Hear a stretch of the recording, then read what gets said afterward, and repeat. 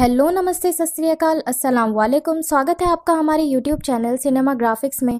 और आज मैं हाजिर हूँ एक नई मूवी की एक्सप्लेनेशन लेकर, जिसका नाम है एक्सट्रैक्शन ये एक एक्शन थ्रिलर मूवी है, जो कि 24 अप्रैल 2020 को रिलीज़ हुई थी। इसकी आई रेटिंग है 6.7 आउट ऑफ़ 10 और इसके डायरेक्टर का नाम है सैम हारग्रेव तो एक्सप्लेनेशन से पहले हम इसके कुछ इंपॉर्टेंट कैरेक्टर्स के बारे में जान लेते हैं। सबसे पहला कैरेक्टर है टाइलर रे जो कि एक ब्लैक मार्केट मर्सिनरी है और foreman S S R operator है।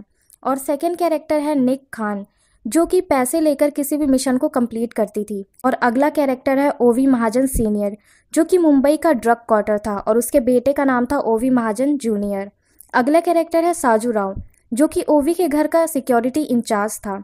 और लास्ट कैरेक्टर है आमिर आसिफ जो कि बांग्लादेश का ड्रग क्वार्टर था। ये एक एक्शन फ्लीक मूवी है और इसके एक्शंस काफ़ी धमाकेदार हैं। इन्हें देखकर ऐसा लगता है कि ये वन शॉट में लिए गए हैं, जो कि काफ़ी अच्छी क्लियरेंस देते हैं। और अगर आपको एक्शन पसंद है तो आपको ये मूवी तो बहुत ही अच्छी लगने वाली है और आप इसके फ़ैन ही हो जाएँगे इसका एक्शन देखकर। लेकिन तब भी मैं आपको स्पॉइलर वार्निंग दे देती हूँ, क्योंकि ये मूवी काफ़ी पॉपुलर है और काफ़ी अच्छी मूवी है, इसलिए आपको पहले मूवी देखनी चाहिए, उसके बाद ही एक्सप्लेनेशन सुननी चाहिए, क्योंकि इसका एंड काफ़ी मिस्टीरियस होता है।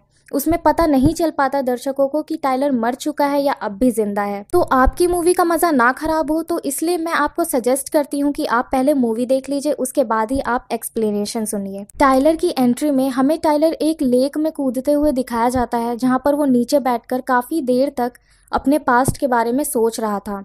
उसका पास्ट हमें काफ़ी धुंधला दिखाया जाता है, कुछ भी क्लियर नहीं था।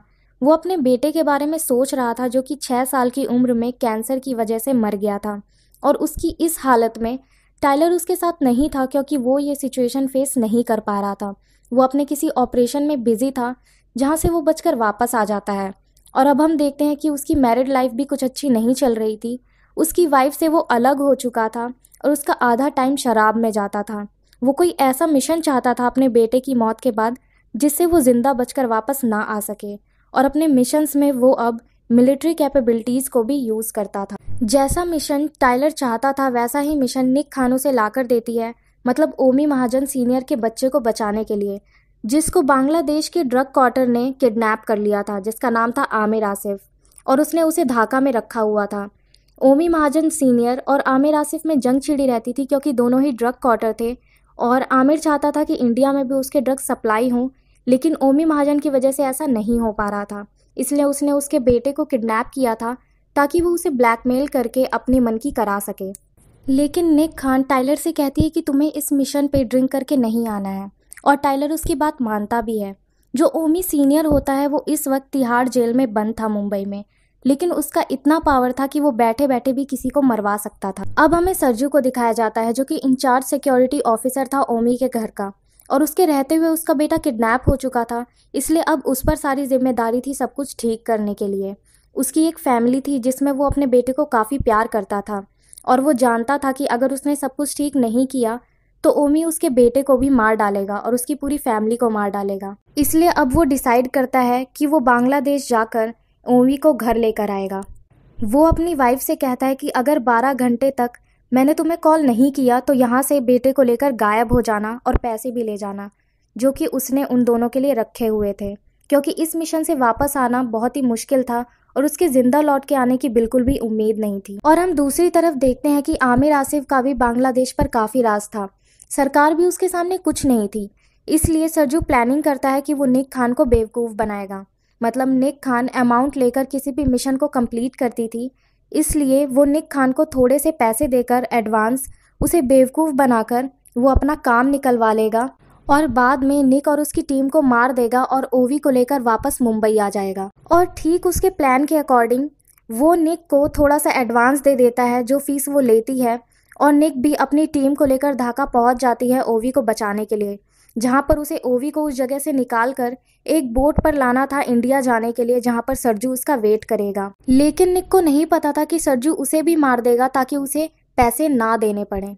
यहाँ पर पैसों की दिक्कत इसलिए आती है क्योंकि जो ओवी सीनियर था, उसके सारे अकाउंट सीज हो चुके थे, इसलिए वो इतना ज़्यादा पे नहीं कर पाता है निक को। यहाँ पर हम देखते हैं कि टाइलर और सरजू में काफ़ी ज़मीन आसमान का फ़र्क है, क्योंकि एक तरफ़ टाइलर जब उसका बच्चा बीमार था तो उसे उस सिचुएशन को फेस करने के लिए बिल्कुल भी गट्स नहीं थे।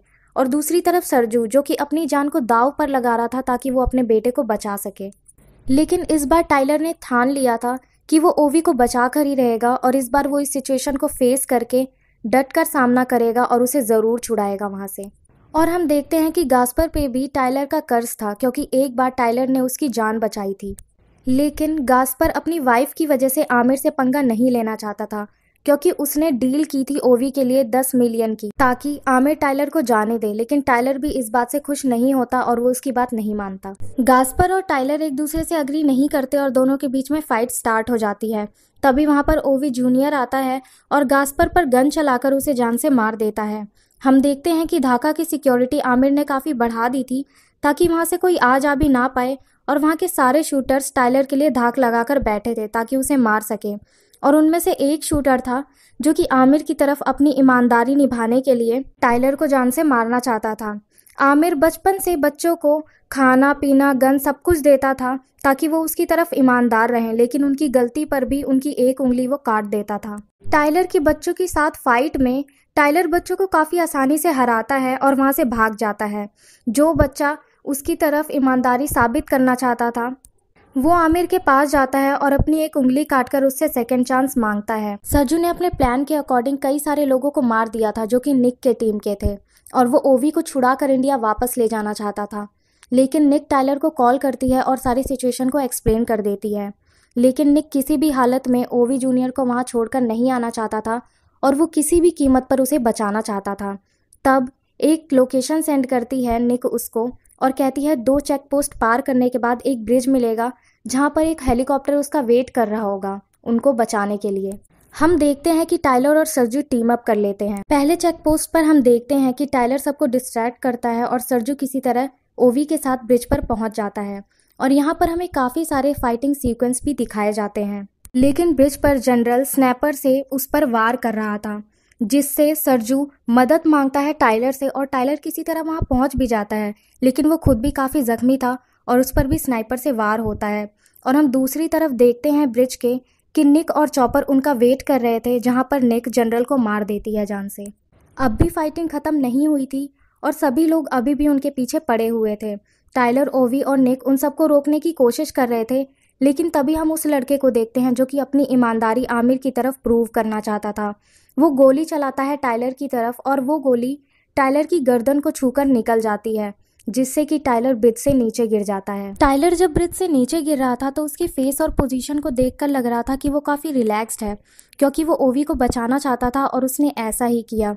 और जो विजन्स उसे अब तक धुंधले दिखाई देते थे, वो सब क्लियर हो जाते हैं, क्योंकि इस बार वो किसी भी सिचुएशन को फेस करने से नहीं भागा। और उनका डटकर सामना किया। हम देखते हैं कि ओवी जूनियर अब अपने घर पहुँच चुका है और जैसे ही वो स्विमिंग पूल से बाहर आता है तो उसे टाइलर दिखाई देता है, जो कि काफ़ी धुंधला दिख रहा था, कुछ भी क्लियर नहीं था। निक एक पार्टी में जाती है, जहाँ पर वो आमिर को जान से मार देती है और वहाँ से चली जाती है, क्योंकि आमिर की वजह से उन लोगों ने कई सारी मुसीबतों का सामना भी किया था और एक तरह से वो टाइलर का भी बदला ले लेती है।